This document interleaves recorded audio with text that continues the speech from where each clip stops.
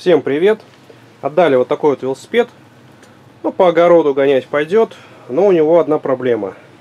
Это переднее колесо. Вот так оно выглядит. То есть внутри здесь вот какой-то профиль, при этом разносторонний. Вот на таком кронштейне он вставлялся вот сюда вот. Скреплялись педали. Вот таким вот образом. И потом все это дело с помощью вот таких штук одевалось уже на вилку. Ну, как видно, здесь все развалилось. То есть не работает. Хочу попробовать восстановить. Ну, пластик я не буду трогать. Буду делать из металла.